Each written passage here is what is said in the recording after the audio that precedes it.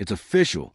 The car that powers itself, no fuel, no plug, no emissions, has just been approved for U.S. roads.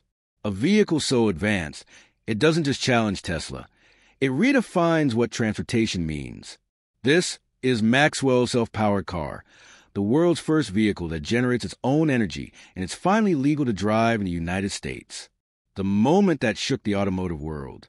The announcement came quietly at first, a single press release from the U.S. Department of Transportation confirming that Maxwell's self powered vehicle had passed all safety and environmental tests.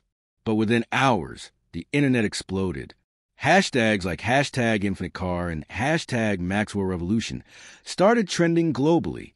Car manufacturers scrambled to understand how this was possible and how a small African inventor had achieved what billion dollar corporations couldn't.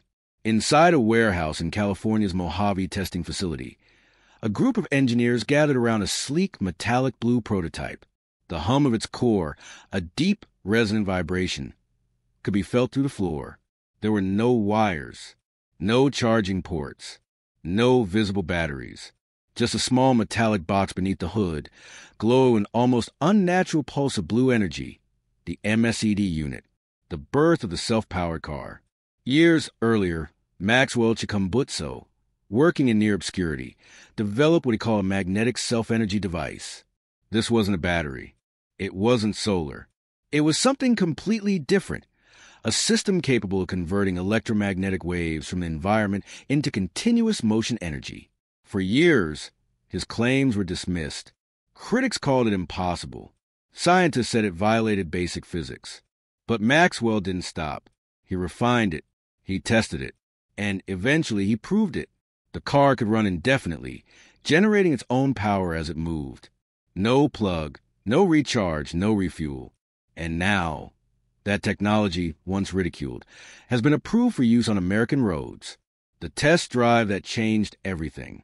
In a live stream demonstration in Nevada, a single prototype was driven for 1,000 miles nonstop. The media expected a trick. They brought thermal cameras, radiation sensors, and electromagnetic detectors. But nothing unusual appeared no hidden batteries, no external energy feeds. The car just kept going. And then came the twist.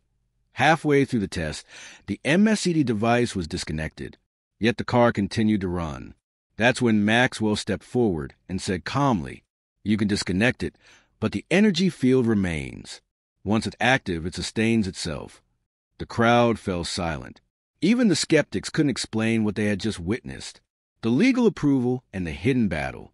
Behind closed doors, debates raged in Washington. Oil lobbyists called a threat to national energy stability. Car manufacturers demanded transparency. And Tesla, the world's EV leader, requested a full technical review. But after months of scrutiny, Maxwell's technology passed every federal and environmental standard the U.S. Energy Commission released a short but powerful statement. This technology represents a new frontier in sustainable transportation.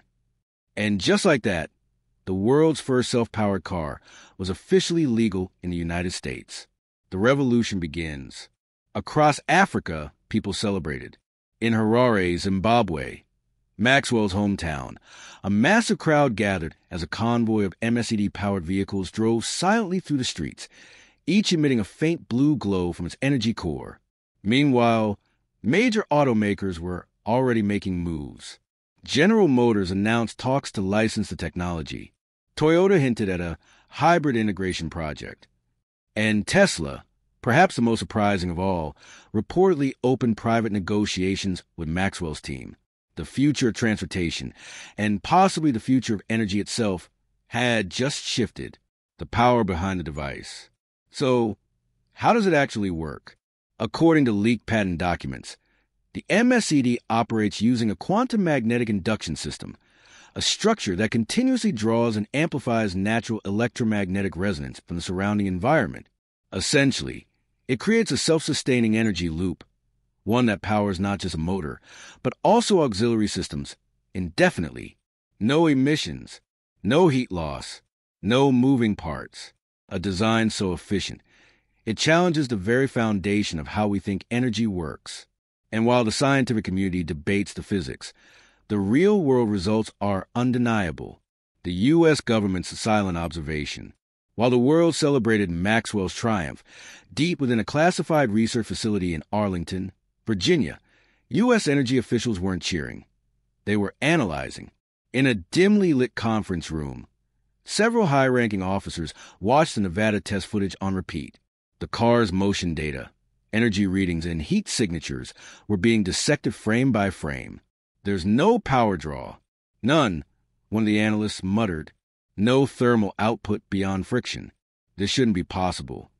A quiet tension filled the room. The man at the head of the table, a senior Department of Energy director, finally broke the silence. If this is real, it rewrites everything we know about power systems. We can't afford to let another nation take control of it first. That single sentence would set off a series of covert investigations and eventually a race that stretched far beyond business. Elon Musk private meeting. Meanwhile, in Austin, Texas, Elon Musk was on a late night video call with Tesla's top engineers. A live projection of the MSED car hovered over the conference table in 3D. Elon leaned forward, eyes narrowing. So you're telling me this thing doesn't need charging ever? One of his engineers nodded. We've cross checked every recording. It's not solar. It's not hydrogen. Whatever that core is, it creates a feedback energy loop. Musk's tone hardened. Get me Maxwell. The next morning, a private message was sent to Maxwell Chikumbutso through a secure diplomatic channel. A request for collaboration, not competition. But the reply didn't come from Maxwell directly. It came from a newly formed MSED Energy Alliance a coalition of African and Asian investors now managing the technology's rollout. Their response was polite, but clear. Tesla's welcome to learn, but not to own. The global energy shift. Within weeks, the ripple effects were staggering. Oil prices dropped 12% as investors began to pull capital from petroleum sectors.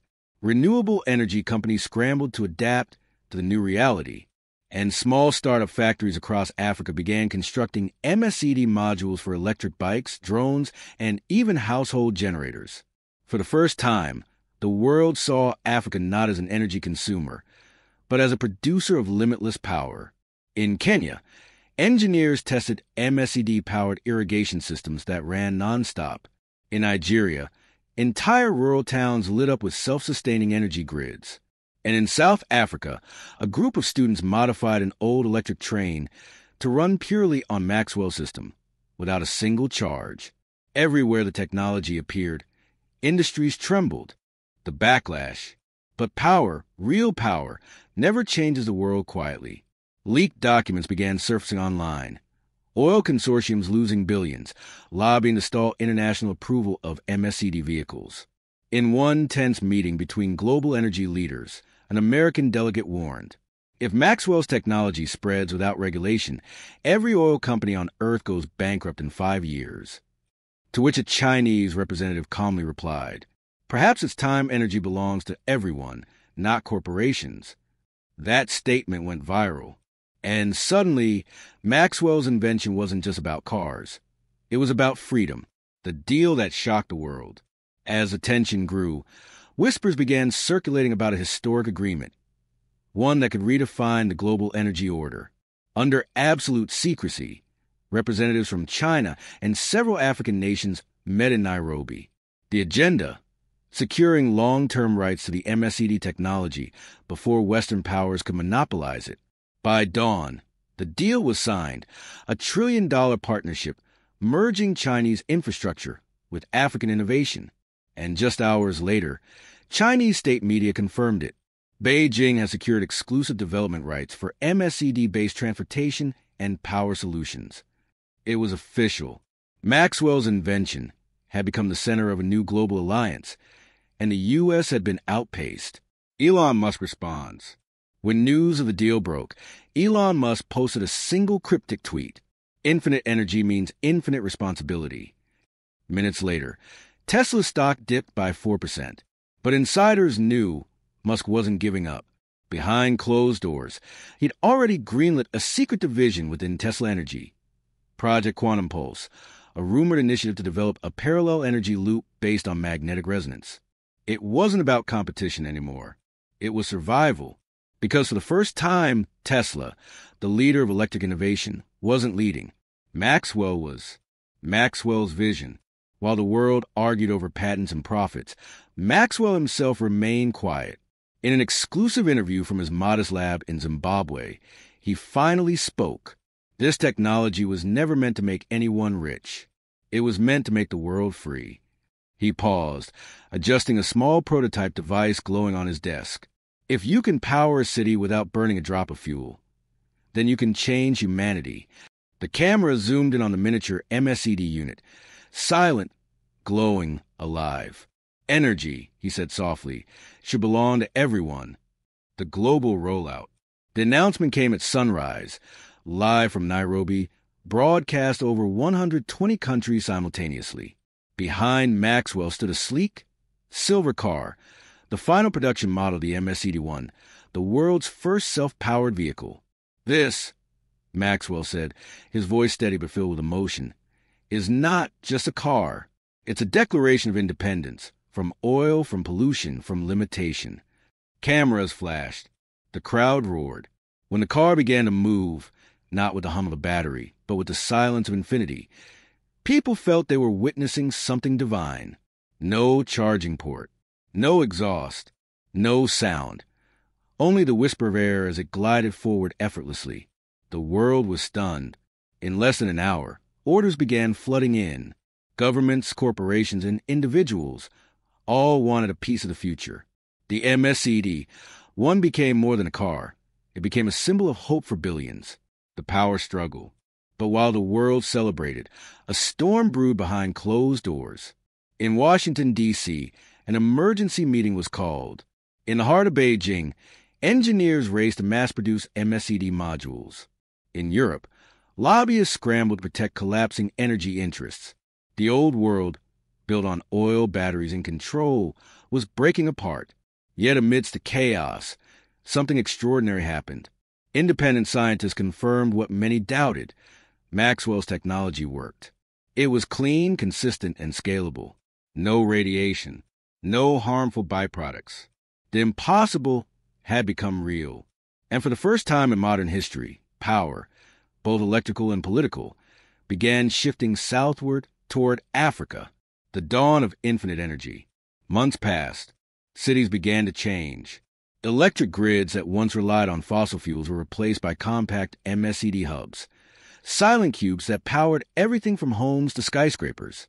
Airports converted their fleets to self powered aircraft.